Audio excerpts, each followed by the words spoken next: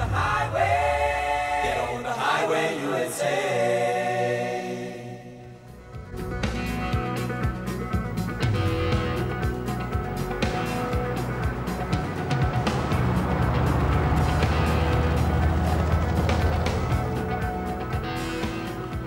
Vi er på vej til grænsen mellem USA og Mexico. Overgangen her i Nogales, Arizona, markerer et voldsomt skæld mellem to verdener. Med et slag er det latinamerikansk, med fattigdoms- og ulandsproblemer. Op ad bjerget ligger huse, der kun fortjener prædikatet slum. Her traf vi grupper af restløse unge, som hjemmevandt viste os deres bagvej til velstand.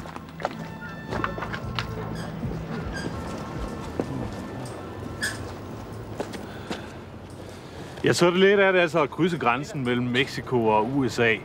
De amerikanske myndigheder har i overvis kæmpet en håbløs kamp på at stoppe hullerne her i hegnet. Og det giver kun en forsvag på, hvad der måske venter også i Europa, når fattigdomsflygtninge strømmer ind fra Østeuropa. I tusindvis strømmer de igennem hver eneste dag.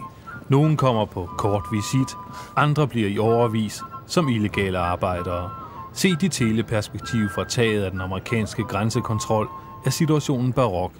Oppe på bjerget vandrer meksikanerne igennem uden papirer, mens grænsebetjentene udfører omhyggelig kontrol ved den officielle overgang. Why do people uh, bother drawing lines in the sand? He was talking about the border between Mexico and the United States.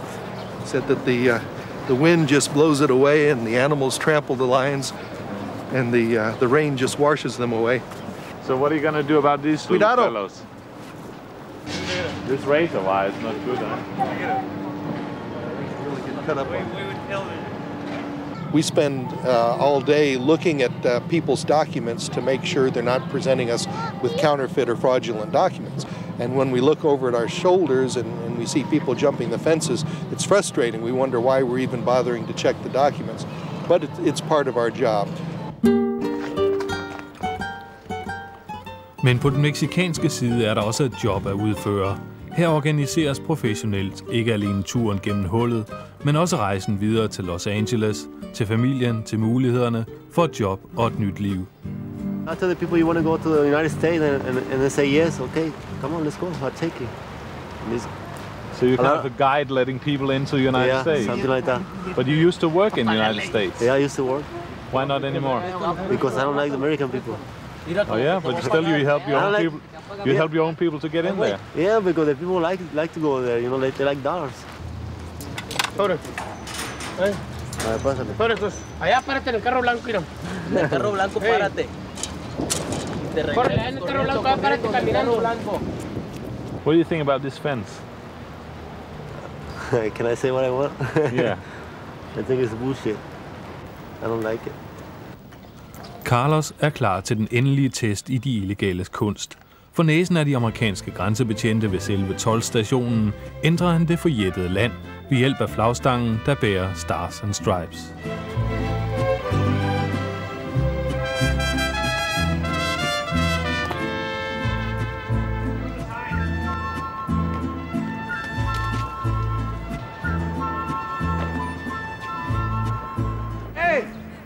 Men når chefen ligefrem selv ser det, må han jo råbe gevalt.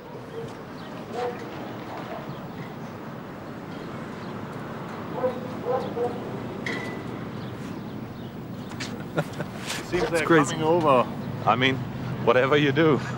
Whatever you do, it's like uh, uh, they're looking for a much better life, much better opportunities, and the thing that I have to keep in the back of my mind is that if I walked in their shoes, I would be doing exactly the same thing. It's um, You can't really stop them from coming over here. well, you can discourage them. Uh, you can ask them to, to go back. Uh, you can catch them and, and march them back. Um, but um, I can't get. I can be frustrated, but I can't be angry. Um, and to to even think of the idea of using violence to against these people, it, it's it's just not acceptable. Uh, I, I can sympathize with them.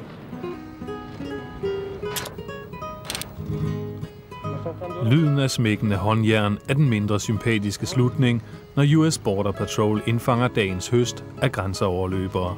Han nåede aldrig frem til et uselt betalt job i LA. Maria og de andre håbefulde piger tages i forhør, inden de deporteres retur til Mexico. Det mislykkedes for dem, men andre står klar til at prøve lykken som illegal hushjælp hos en eller anden kalifornisk middelklassefamilie. Nu skal man ikke tro, at grænsekontrollen sidder i uvidenhed om trafikken gennem hegnet. De tv-overvåger faktisk det meste med styrbare kameraer og kan i løbet af få sekunder dirigere en patrulje til stedet. Through East International. Men de fleste får lov til at løbe. Politiet er interesseret i dem, der ser ud til at bære på mere end deres egen vægt i narko. US Border Patrol rykker ud til et ødested langs den enorme grænse til Mexico. Alarmen er udløst af en af de mange nedgravede sensorer, der slader om, at nogen har krydset grænsen.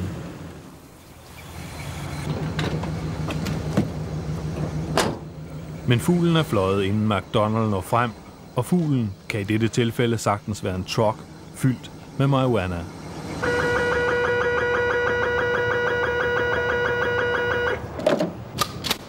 Narkobetjentene er bevæbnet til tænderne. It's got these 22 caliber pellets, and they all go out at the same time. Major damage. Just usually leaves one great big hole. Hundene er de virkelige helte hos US Customs, og hver amerikansk narkohund har sit eget idolkort med oplysninger om dens bedrifter. Hundespillet med byttekortene forsøger myndighederne at pushe til amerikanske skoleelever som alternativ til den rigtige vare. Narkobetjentene optager også selv video med deres favorithunde.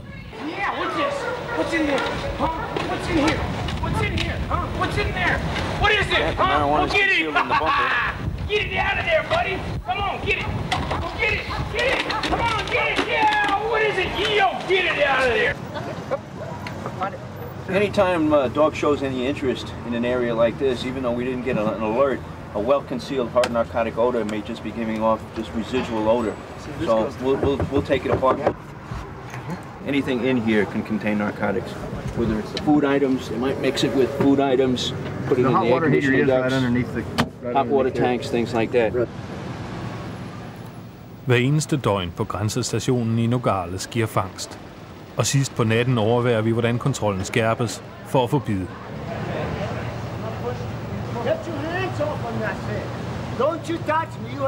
You have no rights to touch me. All right? Hey, come here. You serious? I'll give you this. You want this? Yeah, that's fine. Fine. Mr. Bunting, you want to grab one of these, please? Den uskyldigt udseende røde pick-up med to håndværkere viser sig at indeholde et helt vognlæs af marijuana, skjult i en dobbelt bund. Smuglerne havde godt nok gemt deres 200 pund stof, men glemt at arbejde på deres dækhistorie om, hvad de egentlig skulle lave i USA. And then as you look det er det rene barnemad at afsløre, forklarer agenten, som gjorde fangsten. Vi kunne straks se, at det ikke var den originale bund, og at malingen var ny, selvom det var kamufleret med alt muligt malergrej, værktøj og skrammel. Endnu en tung vandring til fængslet. Og lageret buner i forvejen af tonsvis af stof. Lugten kan godt få en hærdet ryger til at falde om kul. Alt arkiveres som bevismateriale indtil retssagen. Stoffet brændes i modsætning til de mange dollars, som følger med. I see that the war on drugs is is uh, insurmountable. It's the way it is now. It can't be won. What we're doing here is just our part. I, I feel that um, every little bit we can do is going to help. Indtil for nylig har smuglerne været relativt fredelige folk fra Mexico. However, since cocaine and the Colombian uh, cartels have become involved, uh, they are a much more violent uh, group of people than the, than the historic uh, marijuana smugglers from Mexico. Mens USA satser i kampen mod narko, strømmer meksikanerne stadig over grænsen. Er det en forsmag på det nye Europa, hvor murene er faldet, og hegn ikke længere ligner en løsning? I don't think uh, solutions are ever made by building fences. I think that uh, you need to start building bridges between countries. But they're And- coming in like thousands every day, and they are staying here as illegal uh, workers That's uh, without true. permits and Um, creating social the, problems. The best guesses right now in the United States is that we have about 10 million illegal aliens living in the United States.